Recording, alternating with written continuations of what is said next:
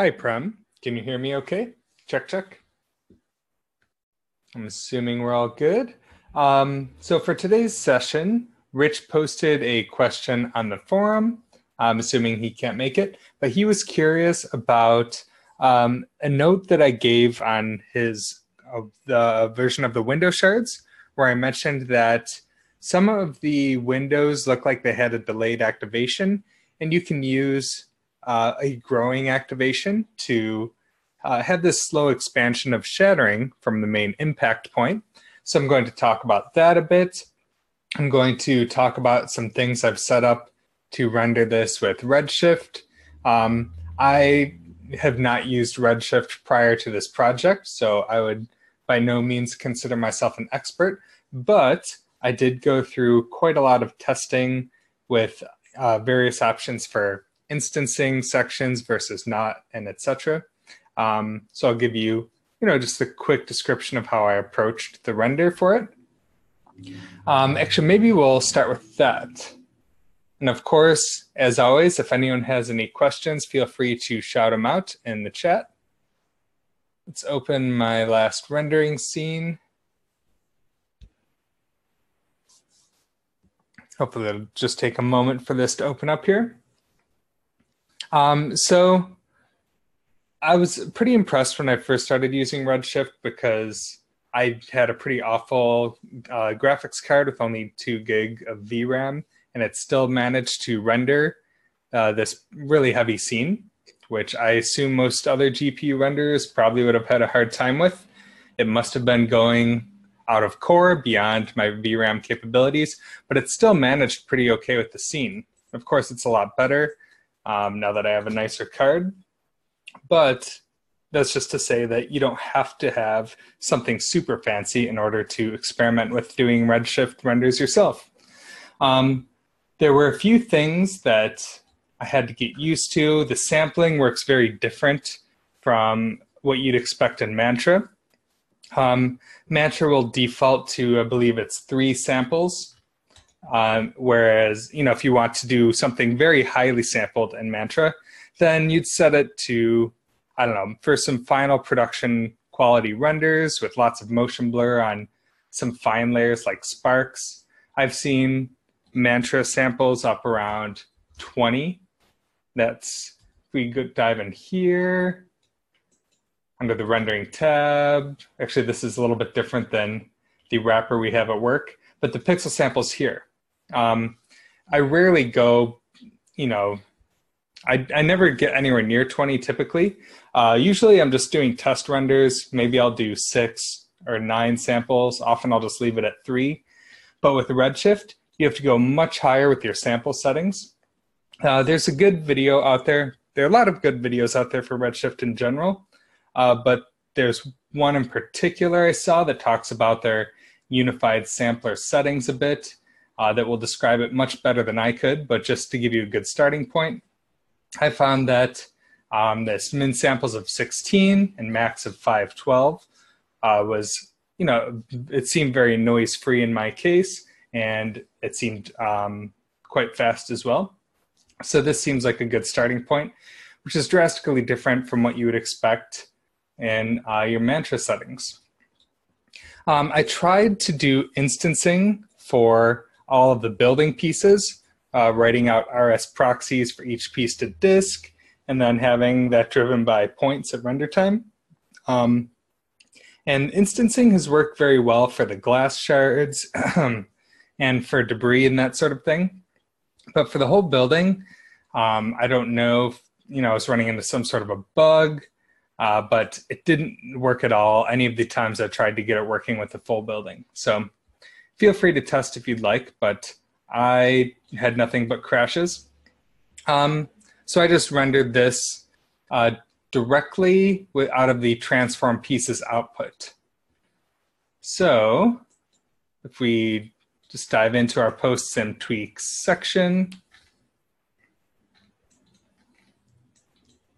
So we have, you can ignore some of this extra stuff that I've done to experiment with instancing for the building but we basically just have our normal proxy pieces at their rest pose. Let me set this to show all objects. And then we have our transform version of that. Actually, it's, let me turn off other things, hide other objects. And yeah, you can just render this directly. That's what I did. And um, I also object merged in my render node, the static building as well. Uh, for the window shards though, that's a very good case for instancing since we have a much limited number of instances we're applying. We don't have, you know, 20,000 or 40,000 unique pieces.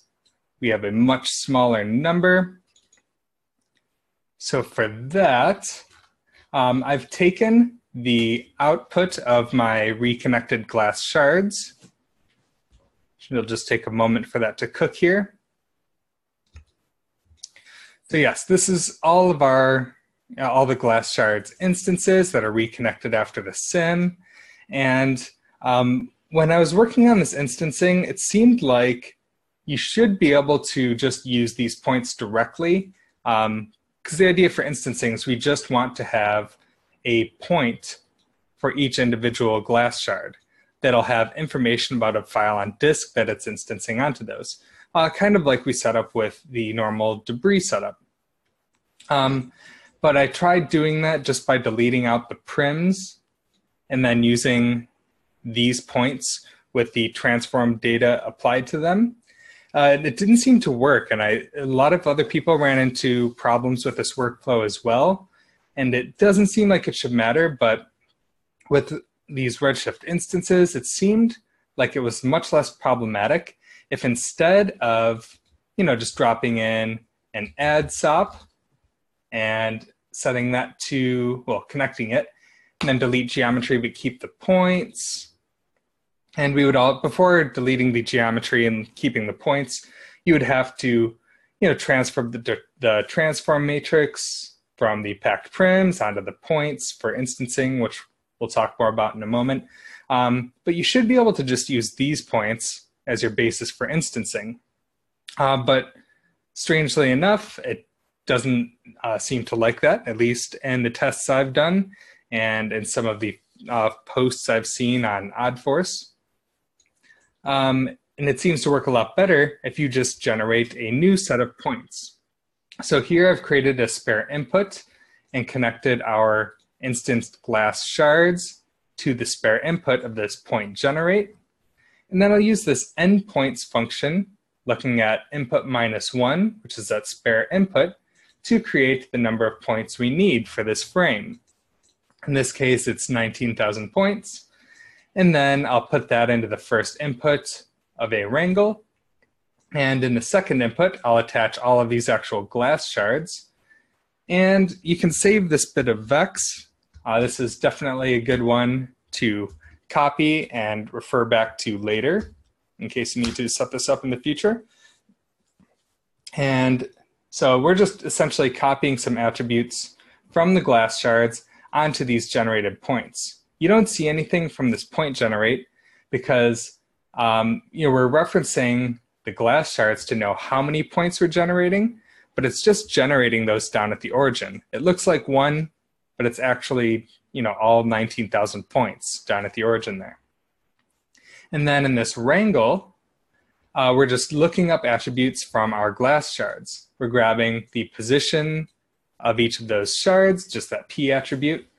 And then we're looking up the intrinsic information for all the shards as well. So uh, I know we've looked at this a few times, but all of these glass shard transformations are stored in these intrinsic transforms. So if you go to the spreadsheet and under intrinsics, let's grab the transform. and this gives you the full transform matrix. There's a pivot as well. And we're grabbing both of these intrinsic attributes from the glass shards input and storing those on our points as normal attributes. Instead of an intrinsic attribute, I've just created a normal attribute called transform and one called pivot. And these names have to be that exactly because Redshift instancing is expecting, you know, to find these specifically named attributes to define those transformations. Um, I'm also grabbing velocity and W, And you can choose in the Redshift instancer whether you use velocity or subframe for that motion blur. Um, what else to know? Oh, this is another weird thing that was um, a bit of a pain. If, if normally we would just set the instance file attribute directly, and I found that uh, oftentimes when I'm pointing these instance files to a Redshift proxy, that uh, my Houdini would often crash when I tried to display this. Uh, we might be able to stop that crashing potentially by going into our display settings and see, is it under geometry? Yeah. Maybe by turning off point instancing here, we can avoid the problem. Um, and this is a hard crash that would just completely kill Houdini. Um, but to help avoid the problem, I would just call this temp instance file instead. Um, so that, you know, wouldn't try to display those instances at all. And then in the renderer, um, which we'll look at in a moment, I just rename this attributes uh, just before rendering from temp instance file to instance file. It's a silly little hack that you shouldn't have to do, but um, it, it, seemed to help out in my case. Um, and as I mentioned, these are instancing Redshift proxies. Now, if you try to instance any other geometry types, uh, like BGeo or Alembic or something like that, um, I think Alembic, or I think the latest Redshift builds may support some of those, but it might be a bit slower because it needs to convert the meshes into its own rendering format. And pretty much any renderer would do this, um, at least as far as I know. Um, you know, if you render in RenderMan, it probably needs to build all of that geometry in a format that RenderMan expects. Uh, some of these things are changing. I think there are plans, um, it might be in some of the experimental builds, I don't know, for Redshift to directly read Alembic formats uh, without converting them, but I'm not sure about that. All of this rendering tech is always evolving, so it you know, takes a lot to keep on top of all the changes. But um, but yeah, so I just wanted to create Redshift proxies so this could be as fast as possible. Um, so to create those proxies, we just start with all of these instance shapes down here.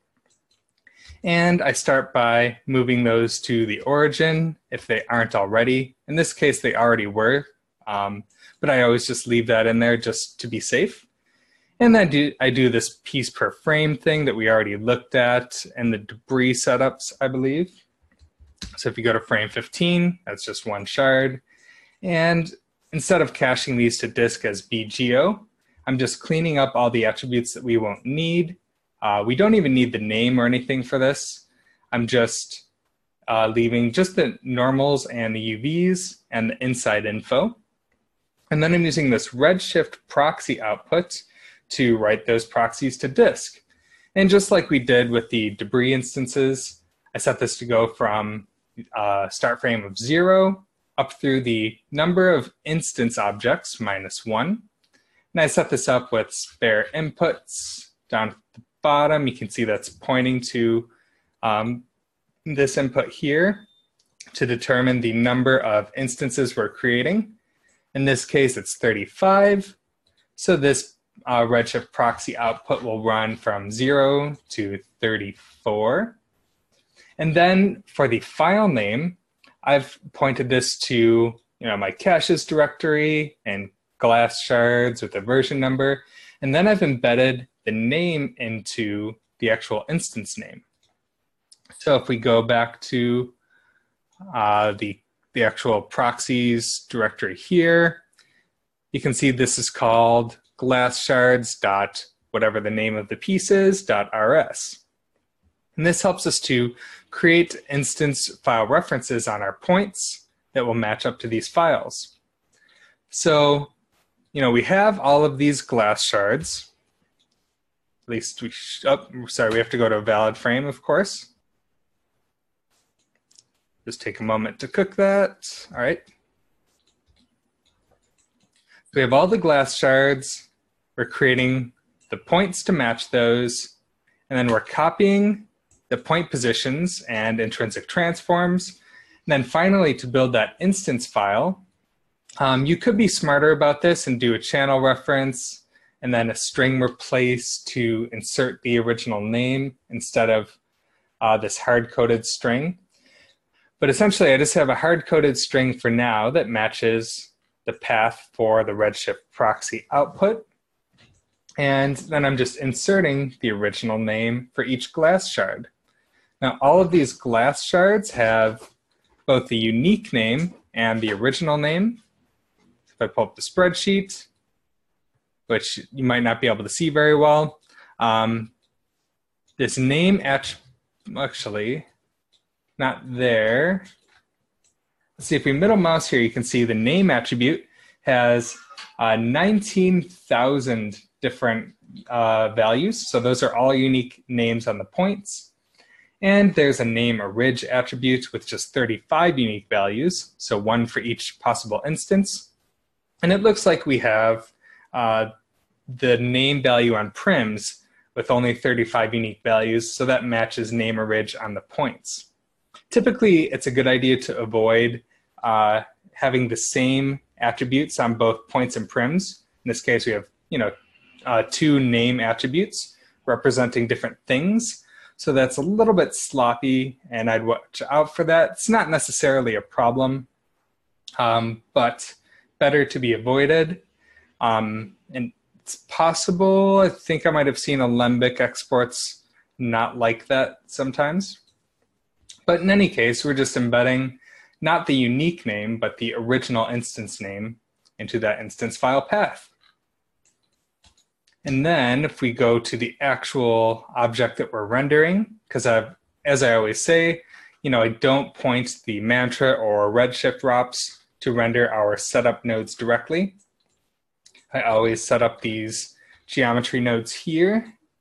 And if we look at the window shards, um, if you set up, uh, if you install Redshift, you will have a Redshift shelf and if you don't have object parameters on your geometry node, you can just create this, or click this object params button. It will create this Redshift tab. So on here, we don't really have to change much. Um, under the render, I just gave it a different object ID, which may or may not be useful to you. Uh, it's kind of an optional step if you want to write out an object ID pass or puzzle mats. But then under instancing, uh, you can use either Redshift instances, or sometimes uh, using this Redshift point clouds can be faster. So I would try maybe point clouds first. Um, I don't know all the cases in which you have to use instances instead of point clouds, but you can check the docs for that. Um, you can choose whether you're using velocity or subframe motion blur.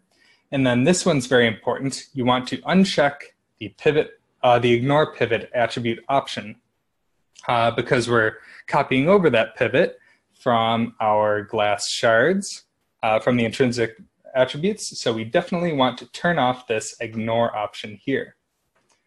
Um, other than that, it should be pretty straightforward. Um, ah, there's one more thing though regarding this, and let me set this to manual so that I don't crash my Houdini based on that instance file weirdness I mentioned earlier. Um, it didn't seem like it would respect the material on instances if I tried to define it here. For regular geometry, it seems to be okay with it. Like for the window panes, I just specified it here and it was fine. But for instances, it didn't seem to work so I used a material SOP to specify that in an attribute. And because these are just points that are we're importing, these are this object merge just points to those uh, instance points that we set up based on our glass shard geometry.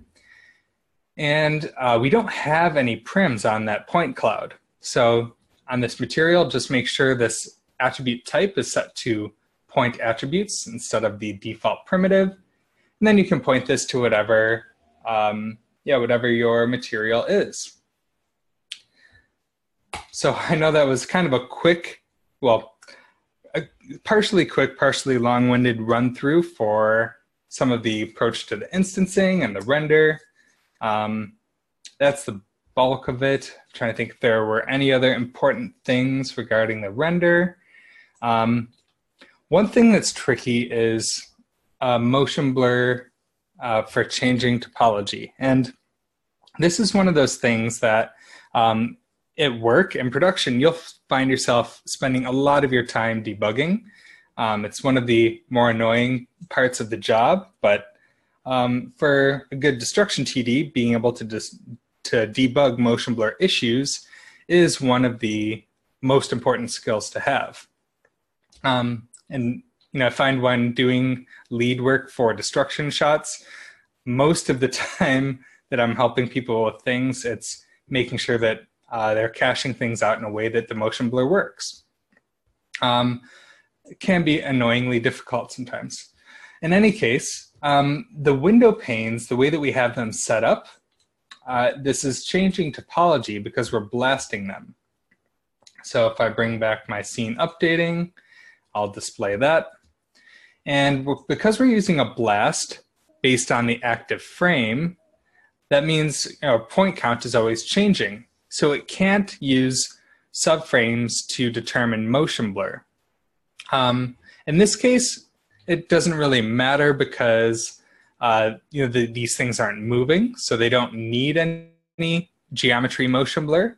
Um, but one thing to be aware of is that if you merge this together with geometry that is moving, then you'll run into some issues.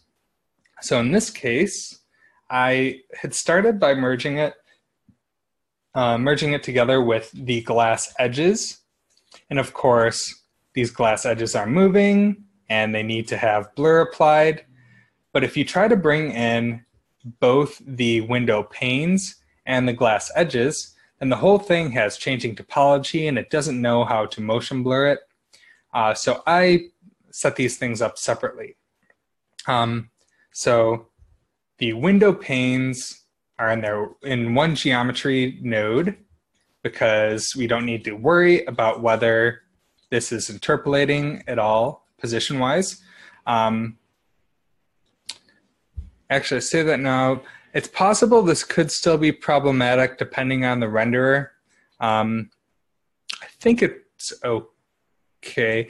It, there's you have to watch out for this. Even though these things are not moving, it's possible that the changing topology could be a problem. Uh, Redshift, I saw in the warnings, was detecting that this is changing topology. So it's using a, uh, looking for velocity instead uh, which this doesn't have, so it just doesn't motion blur this geometry. And that's safer to keep that separate from the window edges because this is just going to blur by interpolation. And we're not actually deleting these glass edges. If we display all the points, even at the beginning where we don't see glass edges, those points are still there. They're just scaled down to zero. And in this case, that works pretty well.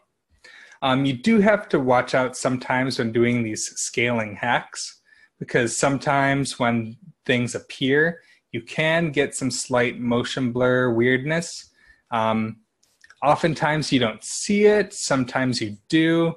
Uh, with these explosive windows, it can be a bit more forgiving um, because at the moment that it shatters, if there's a little bit of extra motion blur streaking, you might not see the issue.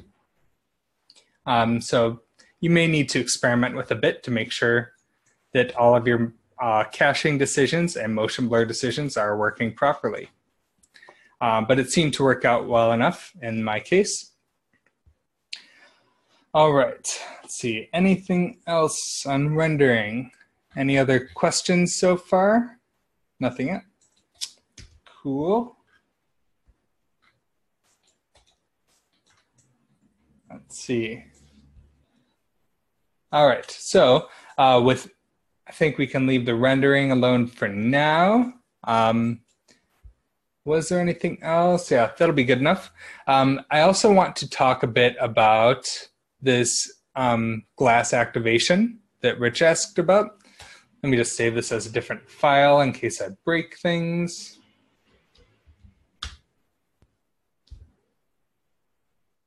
All right. So let's see. Let's go to our glass shatter setup again. Now for this, let's first take a look uh, at Rich's uh, glass submission last week. So there's this weird delay that's happening. One sec. All right. So yeah, after the initial delay, you can see that these pieces stay pretty intact. Uh, with all of these glass panes that are right on the edge of that destruction, you'd expect all of this uh, this damage to affect those as well. Um, it's okay for there to be some lingering window panes in the destruction area, but it, in this case, it looks a little bit weird, especially because they all shatter together shortly afterwards, and it seems pretty unmotivated. Um, so the first thing I would check in this case is the active frame value that these pieces are getting. So I'm trying to see if those building sections actually activate or actually start moving at the point when the glass shatters. Yeah, you can see all these glass shatters starting to happen, but it doesn't look like the building's being destroyed. So I would uh, I would tweak the active frame values to avoid that problem. I would double check uh, the active frame values on all the pieces. If you're doing a whole bunch of post-sim tweaks, then you may need to um, rerun your activation check. So if you remember from our post-sim tweaks, let's jump back there for a moment. The very first thing we did at the beginning of this setup was we brought in our raw simulation points without any tweaks, and then we computed the active frame value. So if we display that, this will cook for a moment. This is computing the active frame based on the actual movement of the pieces. Now, it's possible that um, when you're doing a whole bunch of post-sim tweaks, like all of this extra stuff we're doing to this, that uh, you might be freezing the pieces without changing their active frame or something. Basically, if you make changes to the geometry without updating the active frame attribute to match, then the active frame might get out of sync with what's actually happening on your geometry. So you could potentially um, take this exact active frame setup that we're doing back here, and you can copy that and also run it at the very end just before caching out your points. So all the way down here, just before the file cache, um, you could just recompute all of those active frames. Of course, this is going a bit slow. Anyway, we don't need to wait for this all to recook. Um, let's go back to the shattered windows. Uh, one thing I've mentioned on this version, though, is that it could also look cool to have uh, an expansion from that impact point. So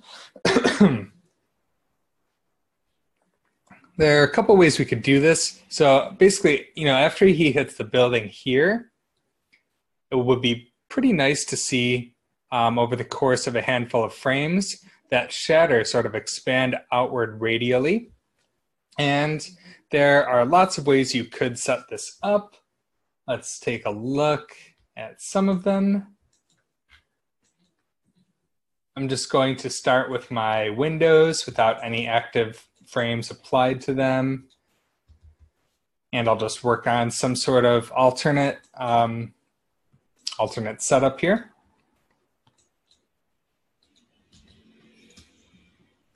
So let's also blast away the active ones. I'm just checking to see what my current activation looks like. Okay. All right, so let's start by, let's see, what's a good way to do this? Um, let's base the activation on the uh, impact of the monster. So uh, let's try by starting with the VDB of the monster. Let's import him from object, assets monster. Actually, we can use the convex hulls as well. That could potentially be faster than using the actual monster mesh. So I'll bring in week three monster collider and out collide.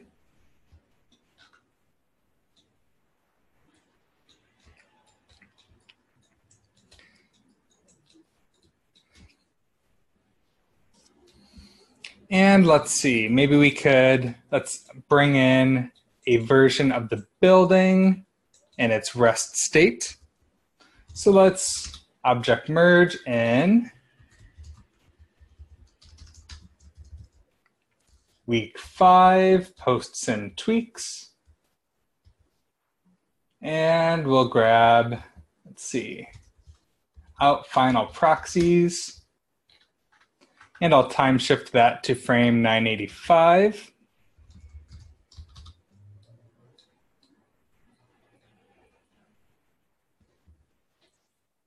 And I'm going to unpack that.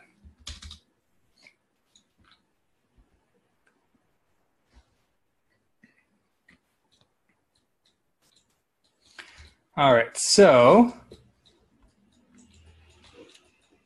let's see. There's so many different ways of setting up these grow things. I always have to kind of figure it out from scratch. Uh, I'm going to shrink wrap this building, and we're going to get the intersection with the monster.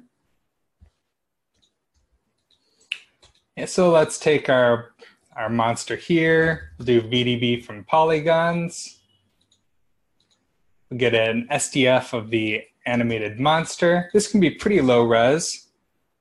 I'll try 0.3 looks pretty low res. That'll work. Let's see, on the time shift for this building, I didn't freeze the frame, so let me do that. So we just have this static uh, frame of the building here. And let's get an SDF intersection.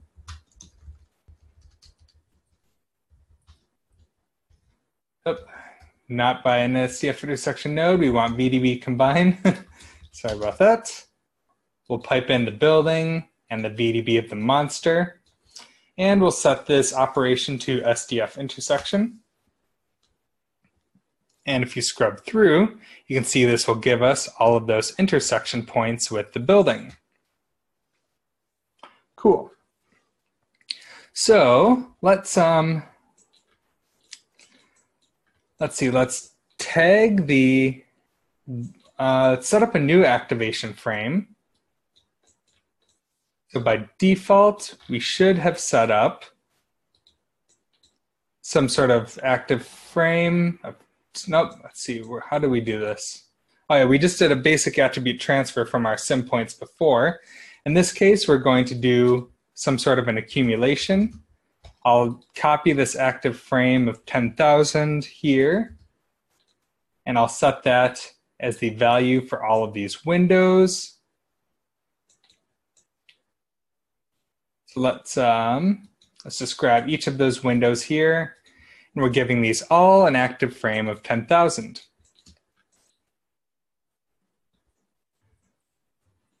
Let's pull this all off to the side so it doesn't get confused with our main setup. All right.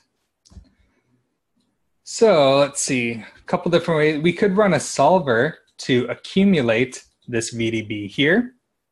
So let's try that this way. We might take a look at a few different ways. So I'll drop in a solver and inside the solver, uh, our input is going to be this current intersection point of the monster in the building. And on every frame, we can combine that with the previous intersection point.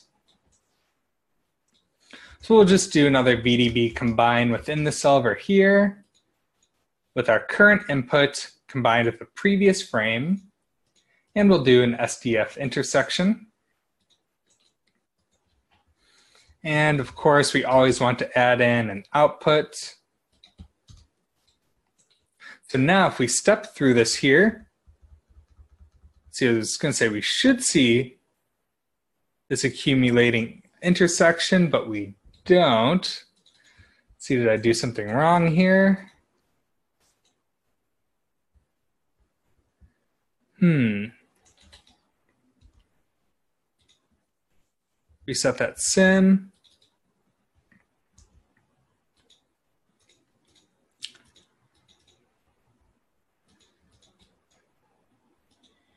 So input one looks like that's always correct. This previous frame, though, is not giving us anything useful.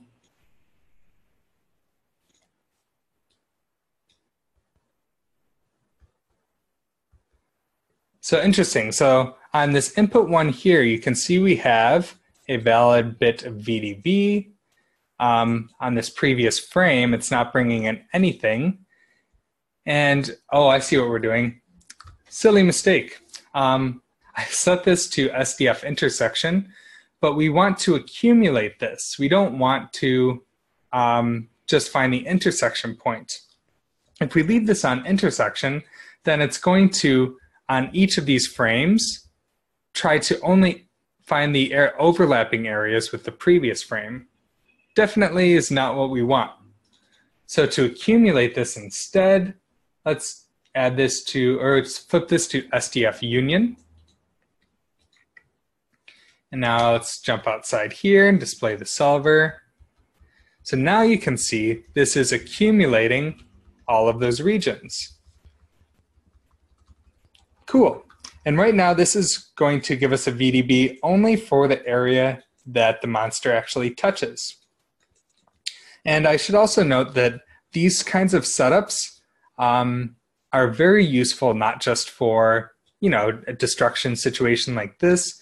There are lots of you know various types of effects that can benefit from interesting ways of accumulating growth. So feel free to you know brainstorm what other things you could use this for.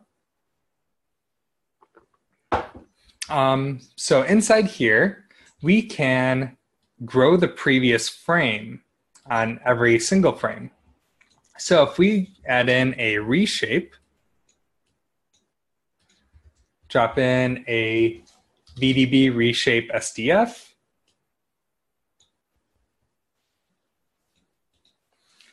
And sorry, we'll switch or leave this on dilate. Let's check the previous frame. I'll see how much that's dilating it. Uh, it looks like a decent setting for a first test. So now as we step through this, you can see that it's not just accumulating the area of intersection, that uh, area is constantly growing as well.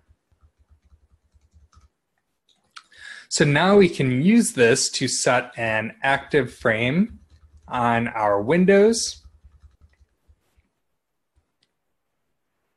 It's pretty neat. All right. Um, we'll do some basic grouping. So maybe we'll run another solver on all of these windows here. Um, you know, create another solver, windows in the first input, the VDBs in the second. And then let's see, what do we want to do? We want to compare the previous frame. Actually, yeah, let, us always group our input windows with our input VDB to see if it's contained within that VDB and in which case we'll activate it. So we'll do a group we'll set this group type to, um, uh, sorry, group type to points, turn off the base group, turn on the bounding regions and set that to bounding volume. It looks like it's grouping one window pane there. Yep. And we'll just call this group activate.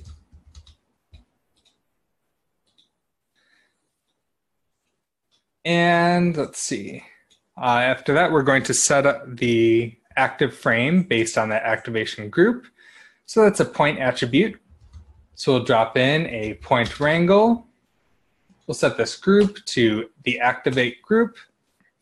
And we'll say um, at active frame is equal to uh, the minimum between the current frame or the previously set frame. Because once we set an active frame, on any subsequent frames, we don't want to update that. We want this, you know, once it's set to maintain that earliest activation. So let's compare that to the previous frame with the second input there. So we'll grab the minimum between the current frame and the input uh, from input one, active frame attributes, and the point number pt num. And hopefully I set this up right because it's very easy to run into logic mistakes when working in solvers like this. Call this accumulate activation. Now in the solver here, let's blast away the activated pieces. So I'm just going to copy that blast so we can see what we're actually doing.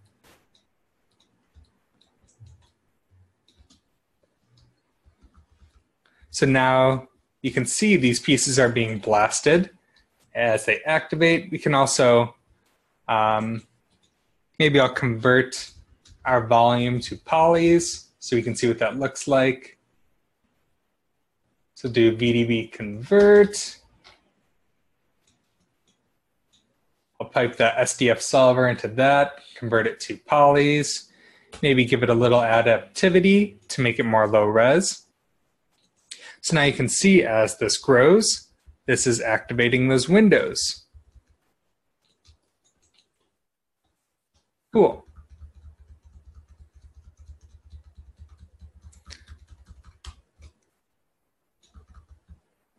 So it looks like our activation frame is working correctly based on that growth. And we can actually use a combination of different uh, techniques to activate this building. Um, so what we could do is we can take this active frame and then maybe take the active frames we got from the actual simulation here.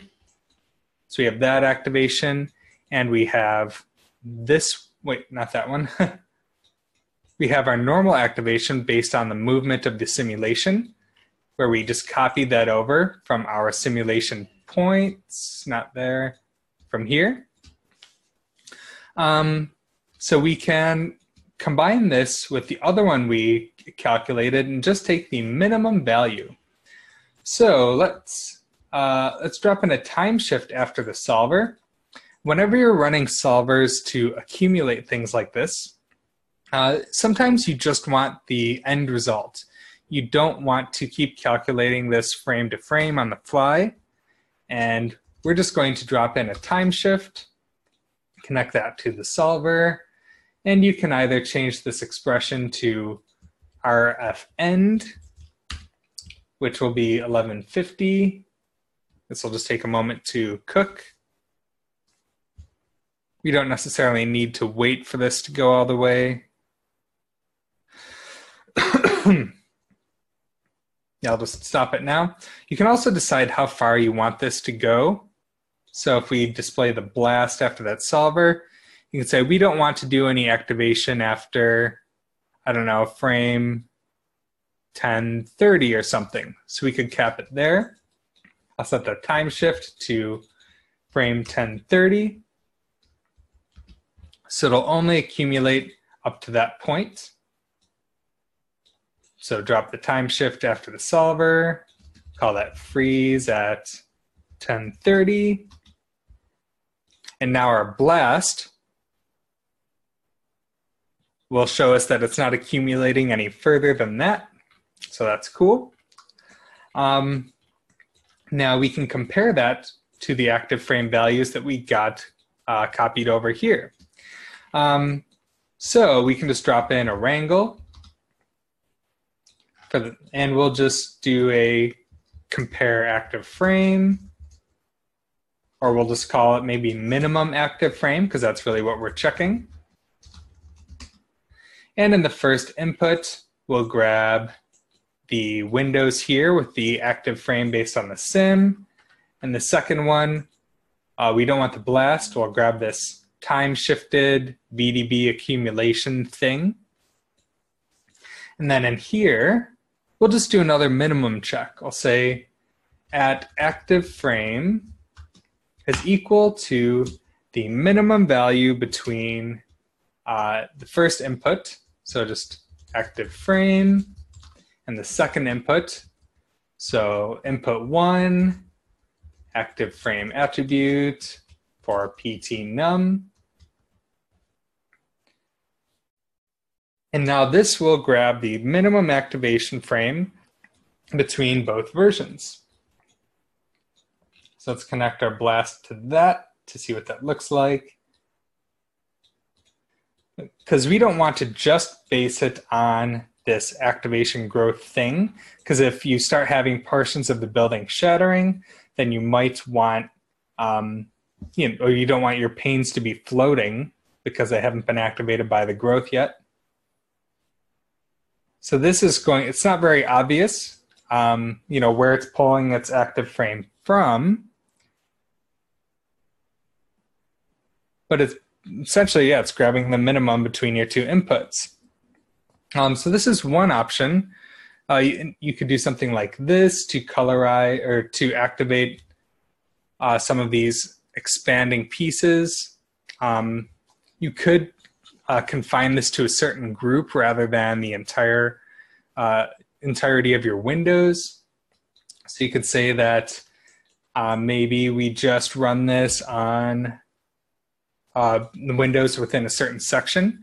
So you can see how based on this activation, it's wrapping all the way around uh, this whole section of the building. But maybe we just want that to happen on the top half of the building there. So on this minimum active frame, I'm going to do a selection based on, let's see if these have unique paths on those window. Looks like it's all one path attribute, so that won't work. Let's try the name attribute instead, which does work. So you could you could also use a, a world position. So we can select this and hit enter. Now we'll automatically enter the selection into our point wrangle here. Although it looks like it didn't use our name attribute. Let's see, I'm not sure why. Oh, looks like uh, the name attribute is not a primitive attribute here. It's on points. So flip to point selection based on name. Now if we, nope, did that work? Sometimes these, this, uh, this, you know, hot group changing thing can be a little bit finicky.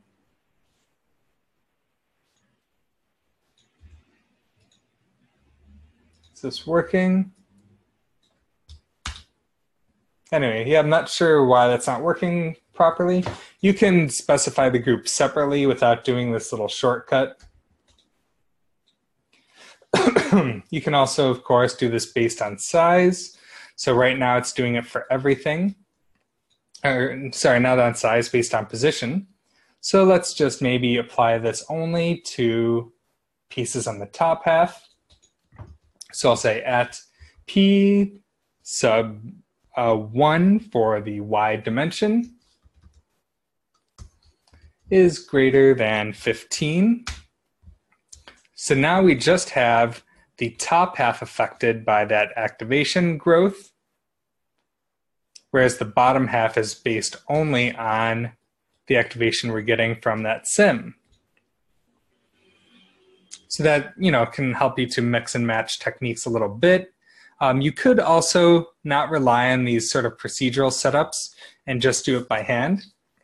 Um, there's nothing wrong with doing things by hand. I do a lot by hand all the time. So you could, instead of, you know, doing this out of control growth thing that, you know, once this is activated, we the way it's currently set up, we have no way to control a limit to this growth. We, we kind of set up the rules and it does its thing. Uh, but we could, um, we could be much more manual about this. So let's display our building here. And maybe we'll hand animate a section. So let's not base this on this VDB intersection whatsoever. Let's set up uh, just a manual sphere here. And let's, um, yeah, let's display that. Move this into place.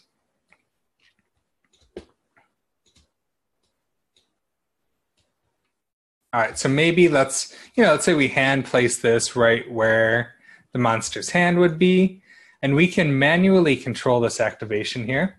So maybe I'll say, um, maybe I'll just give, give this a fit-based animation. see what's going slowly when I scrub this. Oh yeah, so we're displaying all the moving proxies. I just want to see the time shifted frozen in place proxies. So maybe let's take a look at Rich's thing. Uh, we don't have the frame numbers available here. Let's say this is frame 1020 here. And we want this expansion to happen up through frame, I don't know, maybe 1060 or something. So let's do a fit function. I'll say fit at uh, frame from 1020 to 1060. And we're going to scale this from zero up through, uh, let's see how big eight is.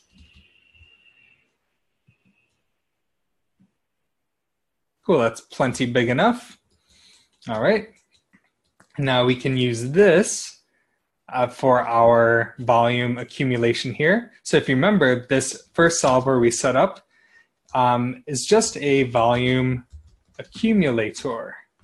It doesn't really care what the input is. So, you know, on one hand, we just used the intersection with the monster in the building. In this case, we can just use a sphere. So I'll just convert that to a VDB, do VDB from polygons. Doesn't have to be very high res. I'll make that 0.3 again. And actually, you know what? For this, we don't even need to uh, accumulate this because we just have this growing per frame. So we're not going to worry about this accumulator whatsoever. We're going to go right to this um, active frame detection. So I'll call this activate from VDB. And instead of this growing one, based on that intersection here. We're just going to, oh, hopefully I'm not getting too careless with scrubbing all over and crashing things. Um, we're just going to plug in our manually animated sphere. And of course, you can keyframe this to your liking. Um, you can get as manual as you want. You can play around with the slope on your keyframes and everything to get exactly the expansion that you want. So let's, uh, yeah, so we just pipe in this VDB for that sphere. And then this,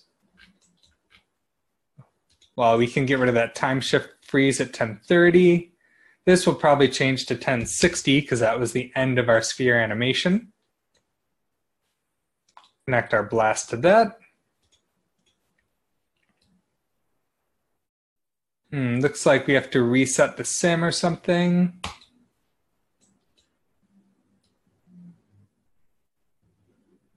So sure enough, if we template display our sphere here and look at that solver output, you can see that we have this activation just based on that sphere. And now we can keep this minimum active frame check where we're comparing that to the original active frame from the sim. and we're blasting based on that. So right now, we probably won't see too much different because our sphere comes on later. You can see that's animating in after these areas have already been shattered.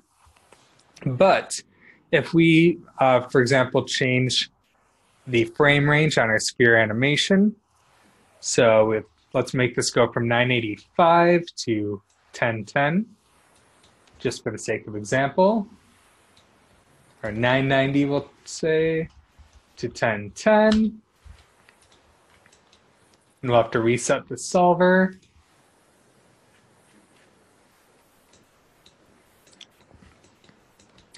So now, if we scrub through our activation, you can see that the sphere activation is mixing with the sim activation, and we're activating these pieces before the sim actually hits them. And this is a good way to just kind of art direct the activation exactly how you want it. Um, you know, in production, you might get a note that everything here looks amazing. Don't change anything at all. Just make this one area, you know, activate these windows over the course of a handful of frames. Um, so, you know, that's why having all of these different tools to art direct your setup can be very helpful. You know, mix and match procedural things with, you know, manual tweaks where you don't have to completely change things you can kind of plug in different options, make it affect just very specific areas. And yeah, it's very, uh, very useful to combine all of these techniques for your final shot. and looks like that uses up all of our time today. Um, trying to think if there are any final things um, that I want to mention before we wrap up here. Um, of course, if you have any more questions, feel free to drop me an email or post on the forum.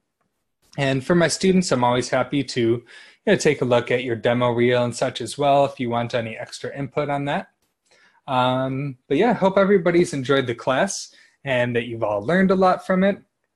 And I hope to run into some of you uh, in the course of working here. Um, yeah, hopefully I'll see you around in the biz um, always feel free to introduce yourself, um, you know, whether it's at a convention or anything like that. Um, I try to stay active in Houdini events. Um, I did SIGGRAPH last year and FMX this year, and I'll be doing a few Houdini events in Japan next week. And um, I will be adding um, an email list sign up form to my website sometime within the next week. Um, I believe I also posted a link to the sign up on my LinkedIn. So if you want to stay in the loop about any, you know, future, you know, tutorials or Houdini tools or, um, you know, talks and presentations and such that I might be doing, feel free to sign up for that. And yeah, I wish everybody the best of luck. And yeah, good luck with all of your smashing and destruction and future effects work.